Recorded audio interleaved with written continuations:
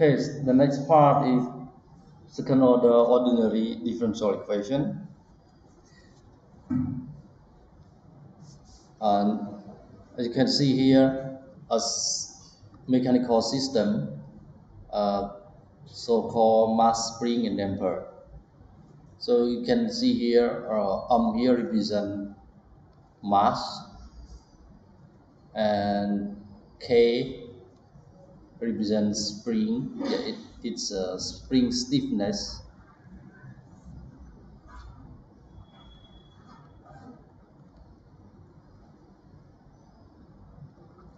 And C is the coefficient of viscous friction of a damper. Okay, so represent damper.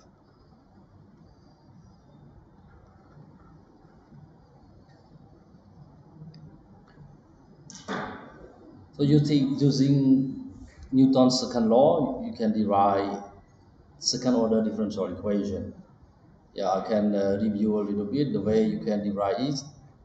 This system, first you use a free body diagram, which means you substitute the force element themselves by force. Okay, so spring is substituted by force exerted by the spring, which is K times X, and damper substituted by force exerted by the damper, which is C times H dot. And uh, here is the input force noted, noted by U so using Newton's second law, sum of all okay, sum of external force equal to mh double dot. Okay. Let's choose h is direction of h here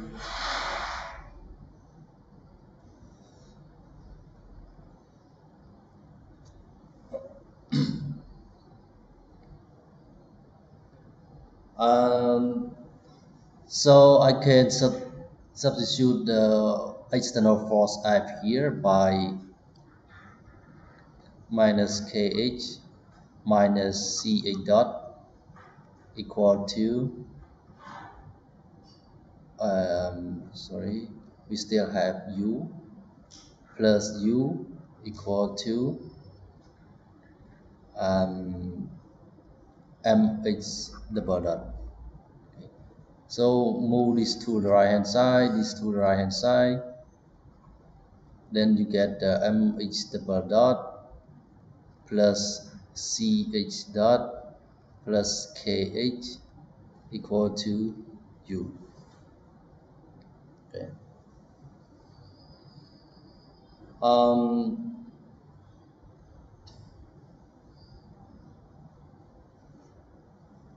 then uh, I rewrite it like this.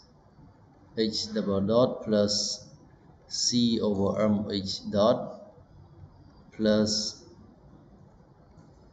k over m h plus 1 over m u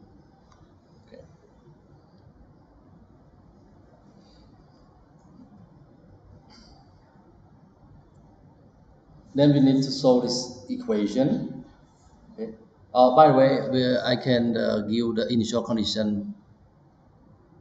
Uh, yeah, because this is second order, you need two initial conditions. The first one is, let's say we start from 0 at time 0 and uh, velocity at time 0 we also start from 0 okay yeah again here is the linear system. So the solution for this equation equal to homogeneous solution plus particular solution. Okay. And So homogeneous solution is obtained from this equation.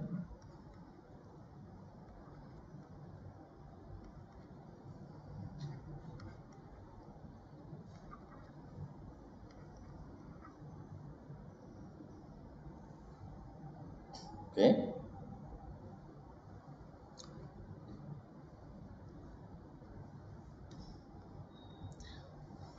Um, yeah, I think I should put h here, h here.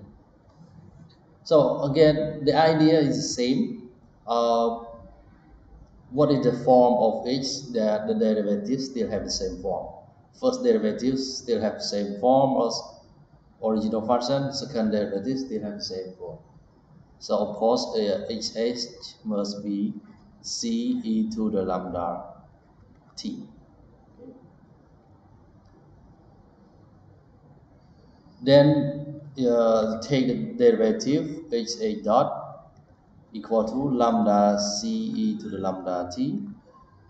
And h h double dot equal to c e.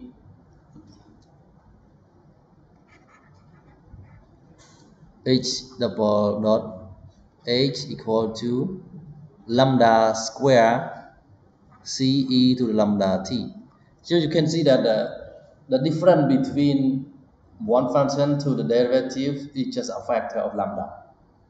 That, that's why when you see this, you can actually just go straight to the characteristic equation, which is lambda square, because this is can uh, derivative, and plus coefficient here c over m lambda plus k over m of course, uh, if you you you, you you obtain from substitution of uh, HH, HA dot, and H, uh, H double dot, uh, you obtain this equation.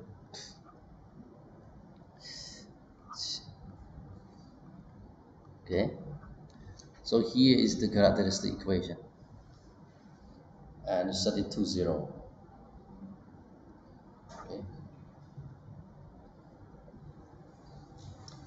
So next time when you see this kind of equation and you want to write characteristic equation, just write this down and set it to zero.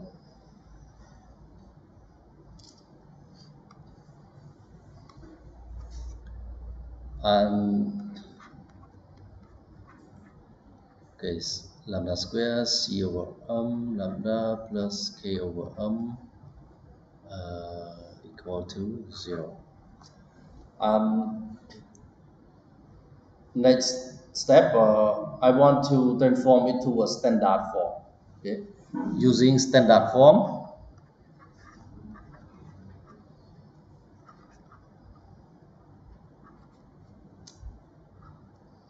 Standard form.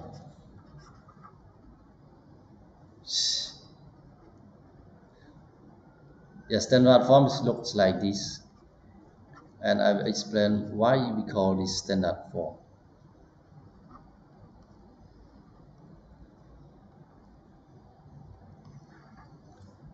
Which means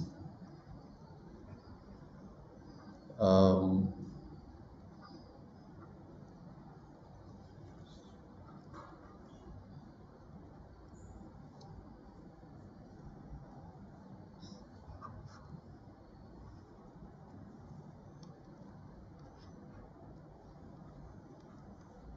okay, or uh, zeta equal to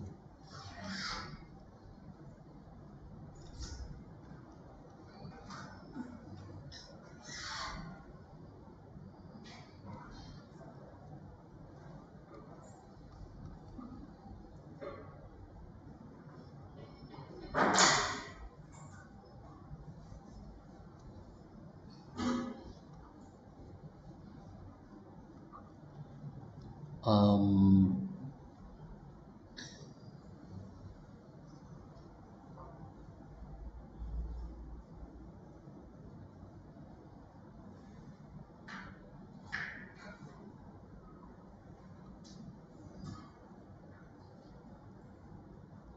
like this right?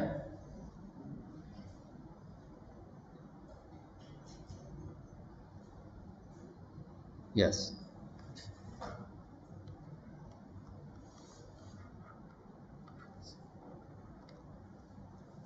Want to make this one clearer.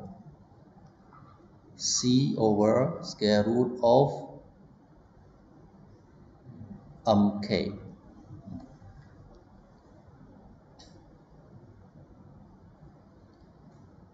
And you know what zeta is called?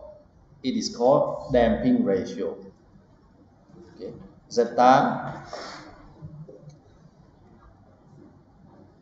zeta is called damping ratio.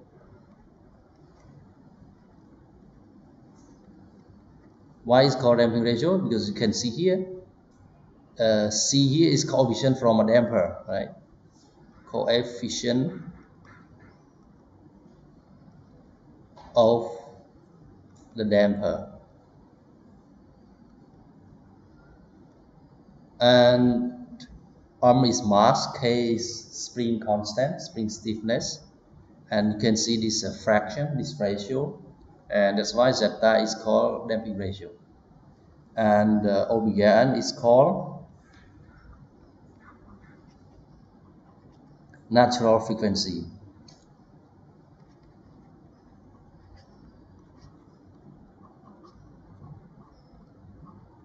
Okay.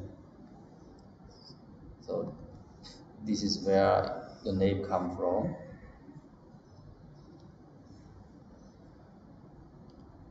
Yeah, yeah, I will explain later why omega is called natural frequency. Now let's uh, answer the question why the standard form is chosen to be like this. Okay? So this is a second uh, second degree equation. Okay, second degree equation. To find the solution, you find delta. Okay. Now find the solution. Find the solution of let's call this star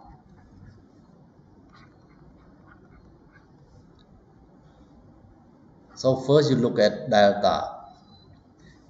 It has this stand, uh, the standard has this form because the delta will have a special form that can be easily analyzed or can eas be easily remembered. Why? You look at it. So it is equal to zeta omega n all square and minus a times c, a here, c here, not not a c so the coefficient of the degree 2 here. So it is omega n square.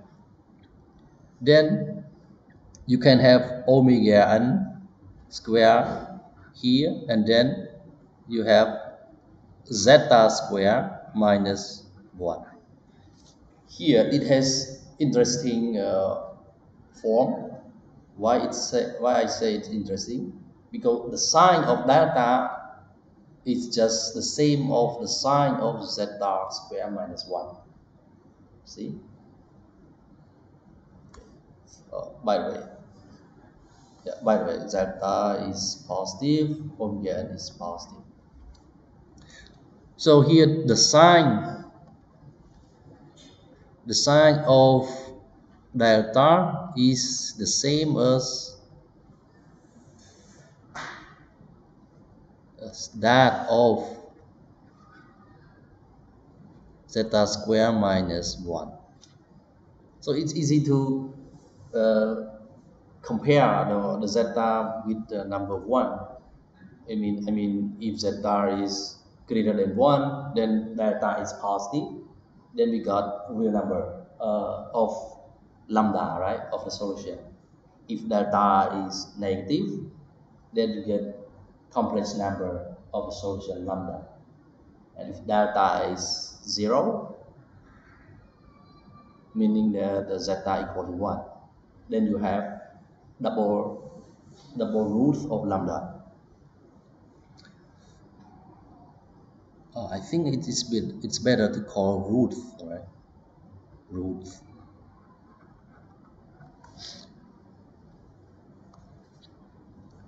So we have three cases. Case one, delta uh, delta is positive.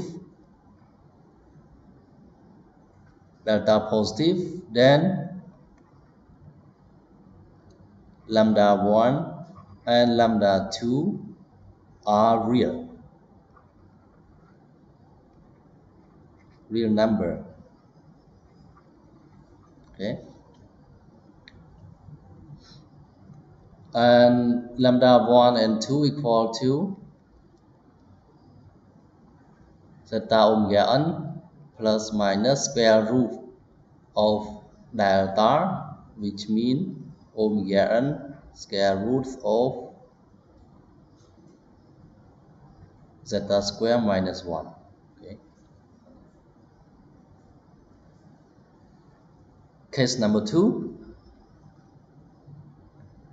delta equal to 0 then I, I should say here as well zeta greater than 1 and here means zeta equal to 1 then lambda 1 equal to lambda 2 equal to uh, because this part is 0 then it zeta omega n. Yeah.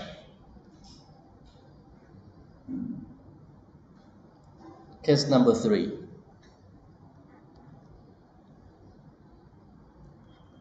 Delta is negative or zeta less than 1. Then lambda 1 and lambda 2 are complex number.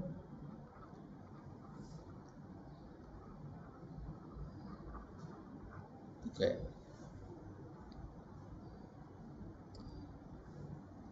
So lambda 1, lambda lambda 1 2 equal like this uh, minus zeta omega n plus minus j omega n and square root of 1 minus zeta square okay okay now we have uh, three cases that uh, lambda can be either a number or complex number. Then let's look at the solution of the homogeneous uh, solution.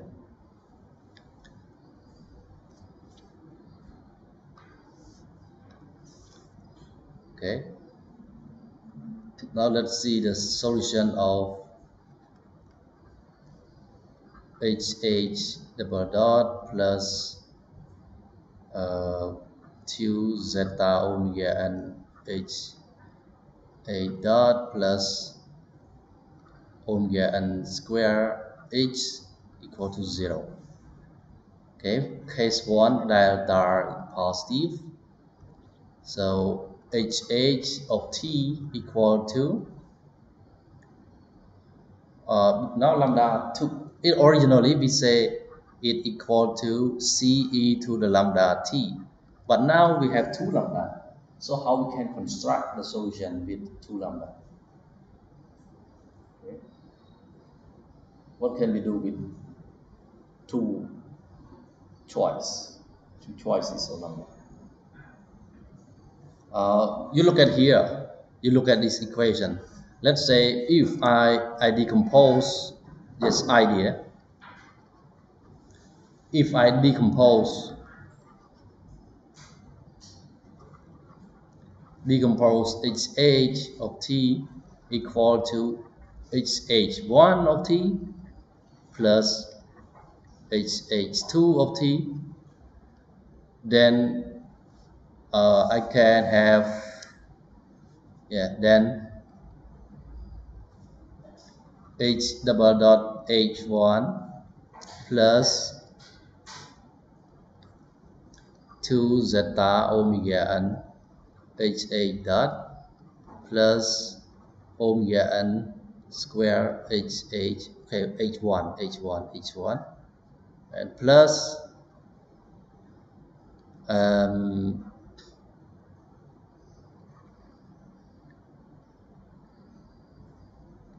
HH2 plus 2 zeta omega n HH2 dot plus omega n square HH2 equal to 0. So let's say HH1 is uh, the one that I choose lambda 1 and HH2 I choose for the lambda 2. This means that I can construct the solution as just the sum of the two choices. That's the idea. So originally we just think that the HH of n has this shape, have this form. But now we have two choices for the lambda. So how we can con construct a solution? So actually I can construct as just uh, C1 e to the lambda 1t plus c2 e to the lambda 2t which means this one represent hh1 this one represent hh2 okay? That's the idea. Um, okay now you got the solution in the first case. That are positive. Now let's see the second case delta equal to 0 and you have uh, lambda equal to lambda lambda 1 equal lambda 2 which is zeta omega n. Again you have two lambda but they are the same. So how you can construct the solution? Okay. how can you construct uh, hh hh of t equal to c e to lambda t. So how you can construct it? You, you put lambda 1 here and plus put lambda 2 here, but they are the same, which means you have constant plus constant is still constant. So it means it's like you only choose one option, right? It looks like you only have one option, one choice. So um, what can you do with this idea again? Idea is to like this. You assume that assume that uh, t okay first you can have this solution lambda same lambda lambda 1 or lambda 2 okay? Lambda equal to lambda 1 equal to lambda 2 and then you uh, C1, C2, you just say, okay, there might be another f of t, a function of time, and time uh, this same exponential. Okay? And then you try to find f of t by take the time derivative of this, substitute back to the original equation, and look for f of t. Okay? Just follow that process then you will find t actually is just t. Okay, so I don't need to show. Uh, you can make your exercise at home. Yeah? Um, so finally, h a of t equal to c1 e to the lambda t plus c2 t e to the lambda t or sometimes you can see it as this form can take this one as a factor. So you have C1 plus C2 times T. Okay.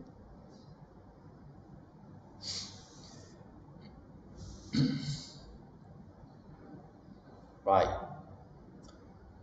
Now the last case, which is the most complicated case and the most uh, uh, useful case as well.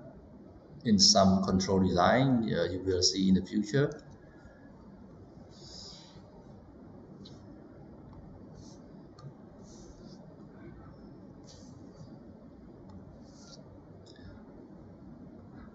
So the third case, uh, delta is negative.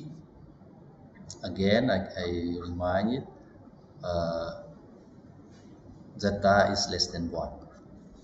And lambda 1 and 2 equal to minus zeta omega n plus minus j omega n square root of 1 minus zeta square.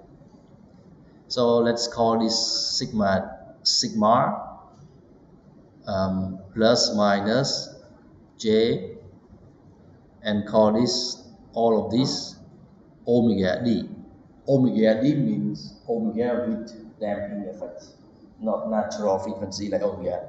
Omega natural frequency, but omega d is uh, we can say damping or damp frequency, something like that.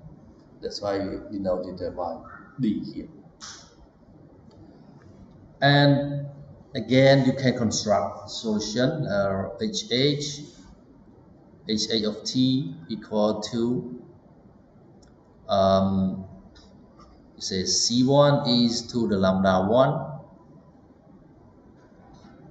T plus C2 e to the lambda 2t.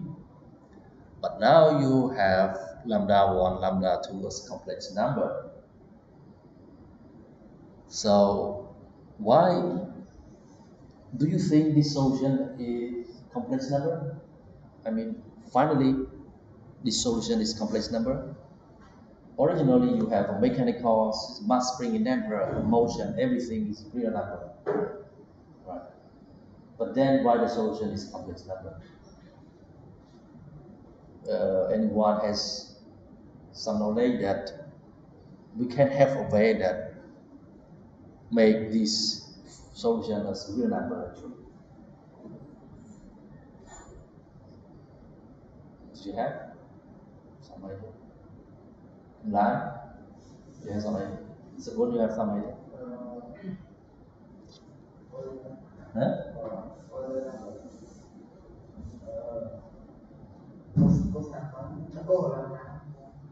Yeah, they even the, the complex part you can use the cosine trigonometrics, but uh, the complex numbers still appear, right? You mean, all right? Now I, I, I decompose this. I can say C1 is to the um, I can say, oh yeah, sorry, like this. I can say, I can take uh, e to the sigma t as a factor like this, and still have c1 e to the j omega d, and plus c2 e to the minus j omega d, uh, time t. time time t like this. All right yeah. So you say you, you use you can use um, uh, Euler identity right? This one become cosine omega dt plus j sine omega dt but you have c1 here. And this one you have c2e to the minus j omega dt uh, Euler identity sorry. Uh, cosine omega dt plus j sine omega dt like this. Still complex number. And if you say, sorry, here should be minus. And you, you may say, well, if C1 equal to C2, then the complex term cancel out. You may say that. But then it means the solution is always cosine so it is it a complete solution if always just cosine why sine cannot be the solution why the sine function cannot be the solution? So it's not complete, it's just to choose C1 equal to C2. Actually, there is a way. If you choose C1 as a complex conjugate of C2, then the whole thing will return to the real number. That is the, the key ingredient. Um, so actually, to have h h of t as real number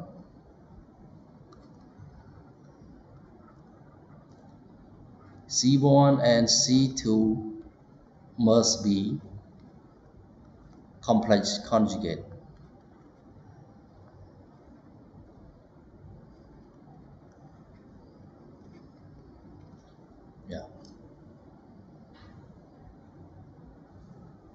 Okay, I, I want to prove a little uh, more yeah, to, to, to see that finally you get real number. So h a of t, here you have e to the sigma t, or maybe I ignore this part, I just call, I just call, uh, I just want to uh, consider this part, call it y of t. Okay, let's see y of t equal to C1 e to the j omega dt plus C2 e to the minus j omega dt. Uh, but C2 is complex conjugate of C1, which means I, I can write down C1 star representing complex conjugate. Yeah, I can say here C2 equal to C1 star. Okay. And I can write C1 because it's complex number. I can write it as a e to the uh, e to the a uh, because it's complex number. I can write it down as look um, complex number. Let's say okay c1 c2 okay you have real you have imaginary. Okay. You have a you have b j. This is for c1 and c2 complex conjugate mean you have same a but you have minus bj right? And then uh, you look at the argument here say theta 1 theta 2 c1 actually is just some amplitude time e to the j theta right? Am i correct? And c2 here the angle theta here this one is just plus this one is just minus. Okay theta 1 same so C, C2 or C, I can say C1, C1 star. It's just R e to the minus j theta. Okay. So now I can substitute uh, R R times e to the minus C sorry to the j theta e to the j omega dt plus r e to the minus j theta. And here e to the minus j omega dt so you have r here and then you have e to the j omega dt plus theta uh, plus e to the minus j omega d t plus theta right? So here it's just like what we what we thought earlier that if the coefficient here and equal to coefficient here you cancel out the complex term. You only have the real term right? So here it means finally you only have two times r cosine um, cosine omega dt plus theta. And again you may you may ask the same question why the solution only cosine? Why not sine actually sine is in there why if you decompose this 2r cosine t cos A plus B, cos A cos B minus sine A sine B, right? So here you got, yeah, I don't need, don't need to put here uh, cosine theta and then minus sine omega dt sine theta. So finally you got real number. it just C happen, C1, C2 happen to be complex conjugate. So actually, uh, I just want uh, to go slowly at here because this is very fundamental and you will see it all the time when we need to analyze the behavior of system, the stability, uh, the transient behavior. Yeah, you will see more and more again and again. Um, all right, we have three type, uh, three cases, and uh, for the homogeneous solution, yes. So uh, let me write the final solution of HH. So HH actually, uh, when you have complex roots of the characteristic equation, you can write uh, like this. You can just say that the solution would be just constant to avoid confusion I use A constant A cosine uh, omega of I have exponential term here. Exponential. term. I have exponential term sigma t like this, e to the sigma t, and then amplitude a cosine omega dt plus theta or you can write um, e to the sigma t. Uh, you, you use this form. Yeah, okay, you use this form, but theta, uh, theta is constant, so it becomes just number time constant. You just get another constant. So you can write down like this. You can use a1 cosine omega dt and plus a2 sine omega dt. Okay. So it's your choice whether you want to choose use this form or you want to use this form. And both have two constant right? This constant one this constant two and this form also have constant one constant two so these two constants can be determined using the initial condition, just like the, the first order differential equation. You determine the constant C from the initial condition, right? You saw it uh, before.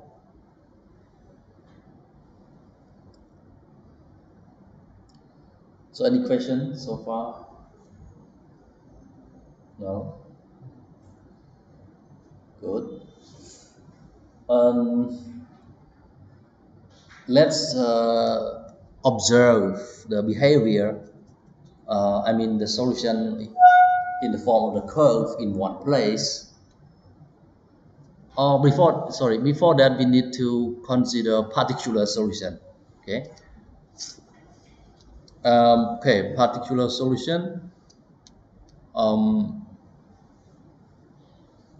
yeah, again, particular solution at HP, particular solution, HP double dot plus 2 zeta omega n HP dot plus omega n square HP equal to U u over m u over m okay? In our case.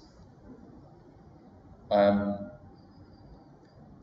so to avoid many things complex I just choose u as constant okay? Choose a constant u okay? constant u choose constant u then then hp must be constant right? Hp must be constant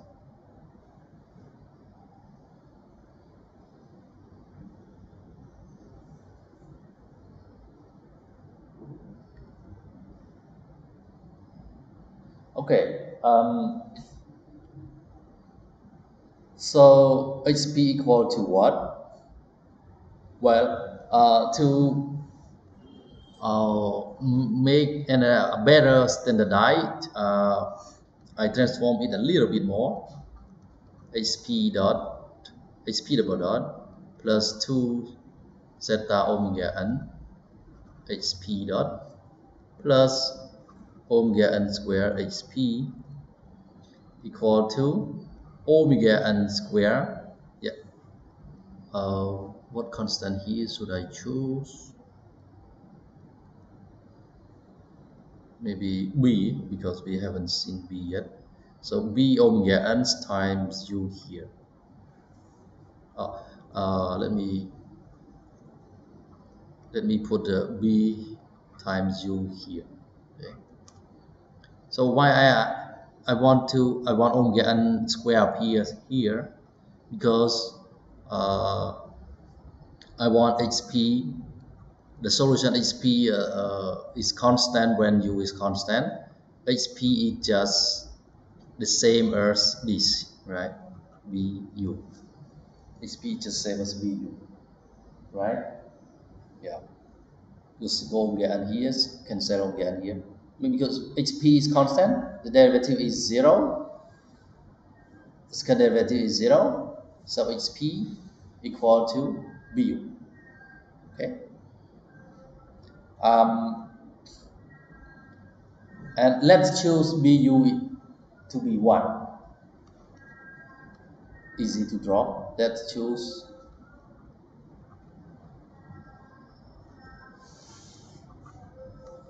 b times u is 1. So the, the, the whole solution in the, for the three case, the three case, maybe I can rewrite again. Yeah, rewrite here. Uh, that are positive, uh, h, h, um, yeah, h of t equal to homogeneous, which is c1 e to the lambda 1t plus c2 e to the lambda 2t and then plus the particular solution HP just 1 and then delta equal to 0 yeah zeta greater than 1 zeta equal to 1 and h of t equal to e to the lambda t C1 plus C2T, right? and plus particular solution 1 and the third case delta equal delta is negative.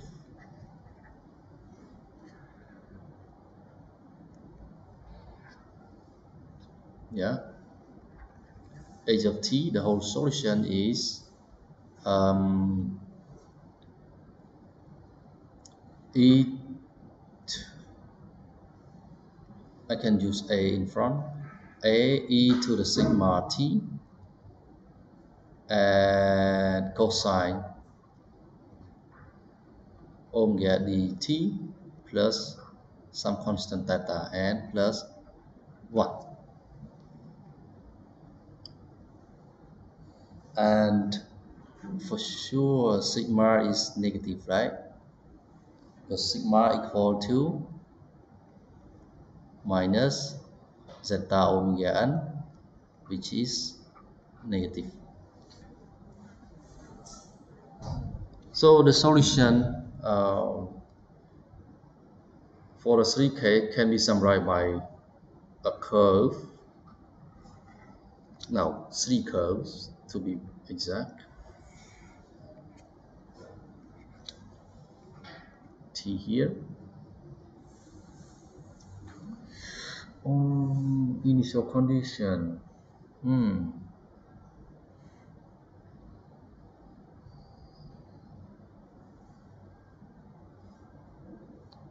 Um, well um, okay I just uh,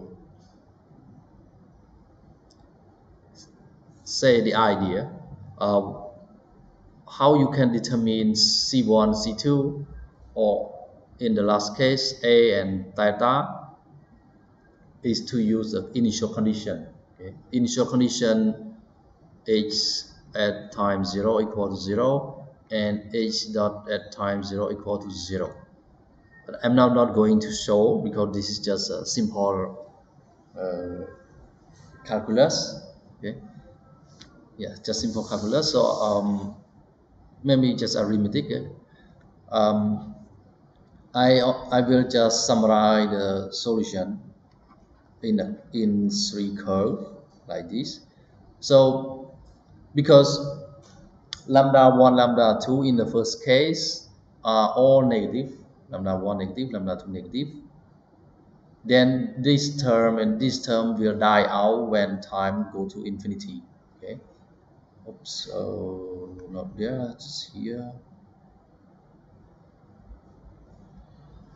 when time go to infinity everything just all the solution just asymptotically go to this value of particular solution. Okay. Uh, the first case only exponential, there's no oscillation. Only the last case, you have a cosine term, then you can have oscillation. And, and I can assure you that uh, uh, C1, C2 are negative or at least one of them is negative uh, at least one of them is negative and especially the one that uh, that does not die out immediate uh, the one that die out late has higher magnitude of the coefficient. What I'm trying to say here is that at the initial time everything start from zero here but uh, it's go L like go, go on like this like the first and then the exponential term die out. The solution just go just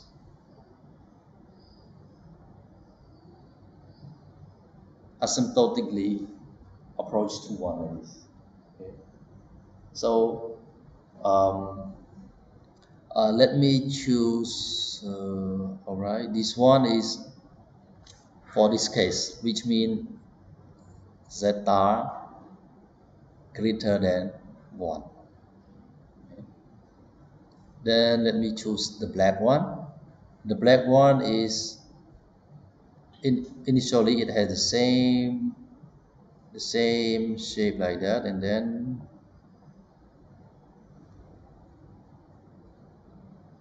yeah like this. Maybe um,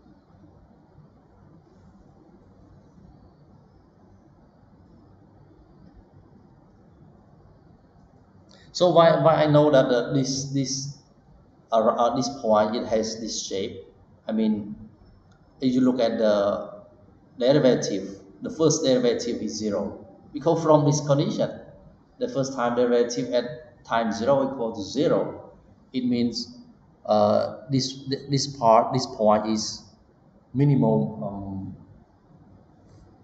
we call uh, extremum point, right? Minimum point. So the the slope is zero. The slope is zero. That's why it must look like this uh, at the initial time okay and this black one is zeta equal to 1 so if the black one is here um, the last the last case delta negative and the solution has cosine cosine oscillation and always less than 1 right and I can assure you that when we use the initial condition to find A, A is negative. Okay? A is negative, which means um,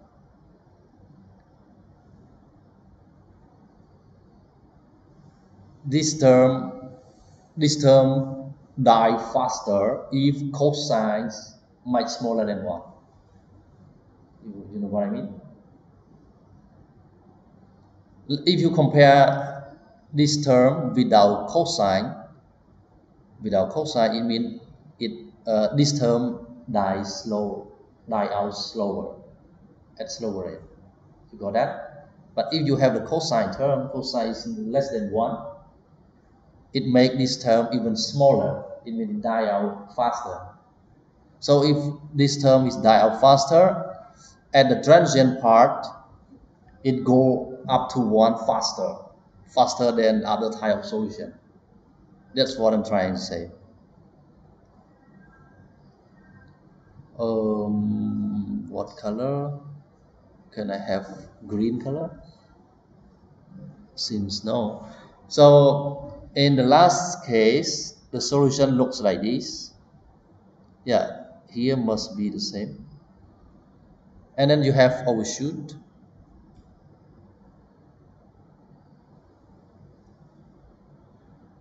like that okay so this case zeta less than 1 you can see that uh, at the transient the, the, the, the early part of the transient it go faster. But then it, it go too fast such that it have overshoot okay? This part is called overshoot.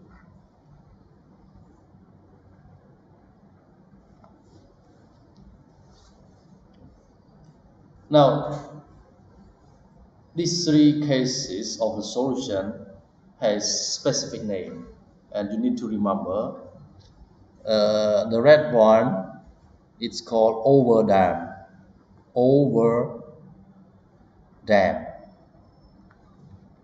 one can easily remember because dam mean you have damper which light coefficient so light coefficient it contribute to damping ratio greater than 1. Okay? So if damping ratio is large, it's over that. And the black one is called critically damped. Critically critically damped. Okay. Critically damped means uh, the damping, damping ratio is zero. Uh, sorry, it's one exactly at one. Sorry. Okay. Uh, it means it's the boundary boundary between over dam and the other case. If You see under dam. Or if you look at the delta, it's the boundary of the sign of the delta, right? Delta is zero. If you look at the, the type of uh, root of the gravity equation, it's boundary of real number and complex number. That's why it's called critically damped.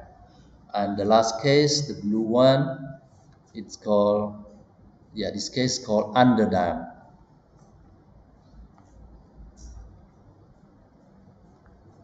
It means damping ratio is small.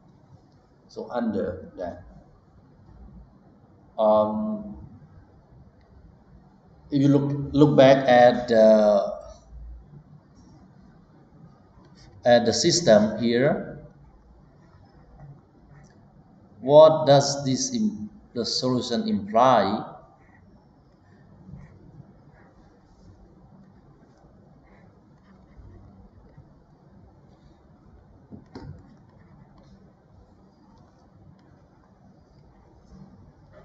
Um, let's say if you pull out you pull out M and uh, to look. Yeah you, you pull out by a certain force such that B times U equal to 1 you pull it out. Yeah you pull uh, you can imagine just let it pull out by gravity. Okay. If you yeah let's say if uh, okay I redraw this. I want to express the external force that act on it. So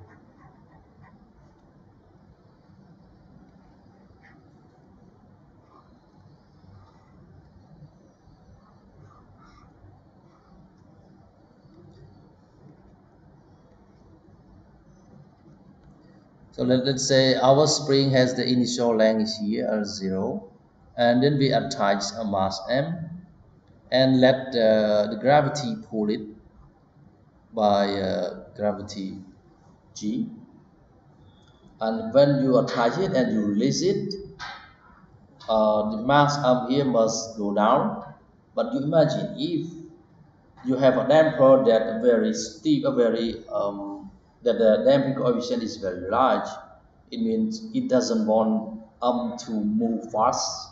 Okay, so it means uh, m must go down slowly, slowly, slowly, and when it reaches the equilibrium point, it stay there. It's like that. And in the case of damping ratio equal to one, it happens very similar. If you look at visually, you imagine it that you stand in front of it and see it. Okay. So in the case of zeta greater than or equal to 1, when you release the mass m, it just go down slowly, slowly and reach at the equilibrium point. Okay. But if you have very uh, small damping coefficient, C it means like you imagine that it's very close to the spring only yeah, you can imagine that uh, but somehow you have something that uh, can dissipate energy. So you imagine when you put the mass on there and you release it it must go fast right? It goes fast uh, that it uh, pass the equilibrium point I mean at 1 at the value 1 here. Yes this direction is h. And then the spring pull it back okay like here see? The spring pull back okay so the spring pull back may pass through the equilibrium a little bit again but then the spring push yeah, spring push a little bit. And finally it stay at the equilibrium point.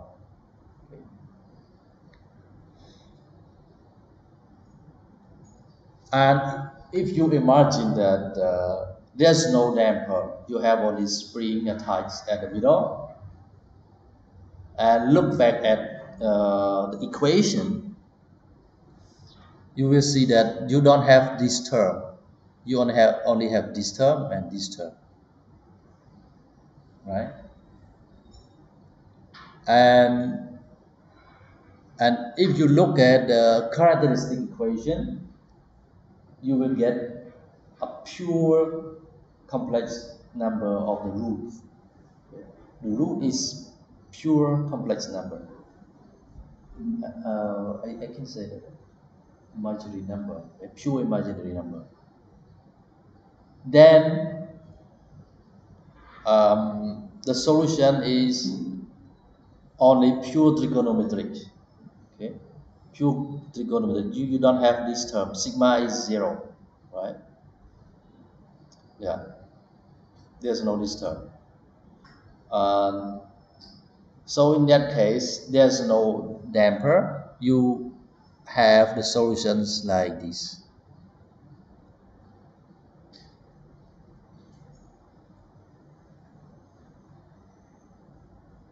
Okay. And this this one is called undamped undamped undamped damping uh, effect so if you take out damper you have only spring and you put that and you assume that the spring is ideal then you can see it oscillate like that all the time okay? forever uh, undamped means zeta equal to zero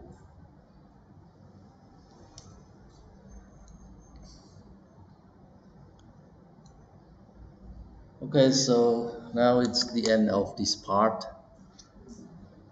Uh, you have any question